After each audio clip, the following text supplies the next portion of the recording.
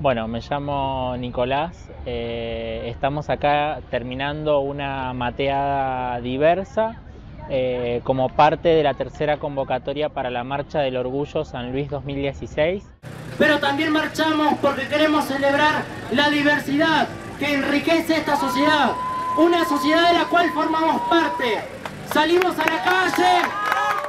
Es la séptima Marcha del Orgullo eh, ya hemos decidido una fecha, vamos a marchar el día eh, sábado 19 de noviembre, eh, convocamos en la Plaza Independencia como todos los años a las 17 horas para marchar a las 18, recorrer por las calles de, San Luis y, bueno, cantar, celebrarnos, festejarnos y poder de alguna manera hacernos visibles.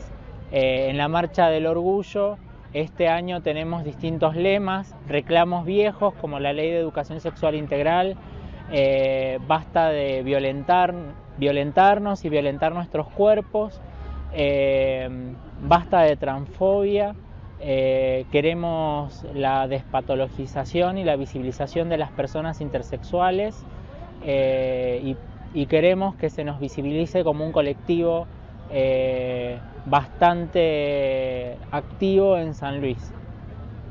Eh, también eh, queremos aprovechar la, la, ocasión para invitar a esta organización de la marcha que es abierta a distintas organizaciones y personas interesadas a otra mateada diversa que estamos organizando para el día viernes 14 de octubre a las 18 horas acá en la Plaza Pringles.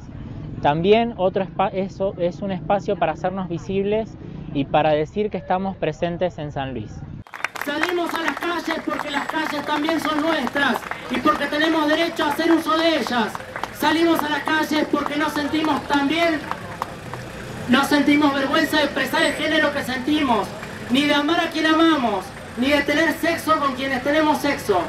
Salimos a la calle porque estamos orgullosos de ser trans, de ser bisexuales, de ser lesbianas, de ser intersexuales y de ser gays, porque estamos orgullosos de ser quienes somos y de sentir lo que sentimos.